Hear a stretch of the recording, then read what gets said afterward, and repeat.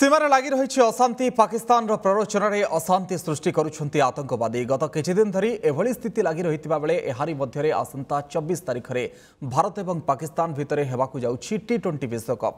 ଏହି high voltage match ଉପରେ ସମସ୍ତ କ୍ରିକେଟ୍ ପ୍ରେମୀଙ୍କ ନଜର ଥିବାବେଳେ ପାକିସ୍ତାନକୁ ଜବାବ ଦେବାକୁ ହେଲେ ମ୍ୟାଚ୍ ଖେଳିବା ଉଚିତ ନୁହେଁ ବୋଲି ରାଜନୈତିକ ଦଳ ମତ ପ୍ରକାଶ କରିଛନ୍ତି। ଆମ୍ ଆଦମୀ ପାର୍ଟି ନେତ୍ରୀ ଅତିଶି କହିଛନ୍ତି ଯେତେବେଳେ ସୀମାରେ ଏବଂ ଜାମ୍ମୁ କାଶ୍ମୀରରେ ପାକିସ୍ତାନ ହିଂସା ସୃଷ୍ଟି କରୁଛି ଏଭଳି ସମୟରେ ମ୍ୟାଚ୍ ହେବା ଉଚିତ ନୁହେଁ। ବିଜେପି ମଧ୍ୟ ଏଥିରେ ଏକମତ ହେବା ଜରୁରୀ ଅଟେ ସେହିଭଳି କେନ୍ଦ୍ରମନ୍ତ୍ରୀ ରାମଦାସ ଅଠାବଲେ କହିଛନ୍ତି ଯେଭଳି ପରିସ୍ଥିତିରେ ମ୍ୟାଚ୍ ହେବା ଉଚିତ ନୁହେଁ ଖେଳାଳିମାନେ ମଧ୍ୟ ଖେଳିବା ଠିକ୍ ନୁହେଁ ଭାରତ ପାକିସ୍ତାନ ସହିତ ମ୍ୟାଚ୍ ନ ଖେଳିବା ପାଇଁ କେନ୍ଦ୍ର କ୍ରୀଡ଼ା ମନ୍ତ୍ରୀ ଅନୁରାଗ ଠାକୁରଙ୍କୁ ଚିଠି ଲେଖିବି ବୋଲି କହିଛନ୍ତି ଅଠାବଲେ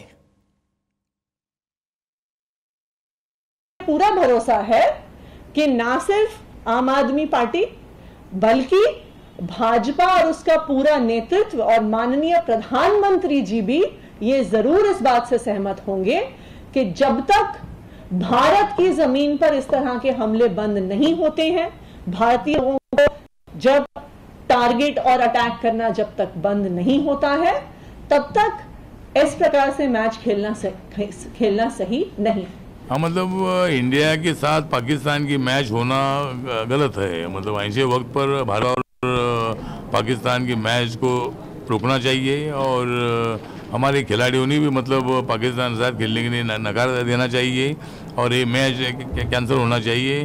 ऐसी हमारी भूमिका है और मैं उसी तरह हमारे स्पोर्ट मिनिस्टर अनुराग ठाकुर जी है, उनको भी मैं पत्र लिखूँगा और ये मैच नहीं होनी चाहिए। इसी तरह की मेरी पार्टी की भूमिका है।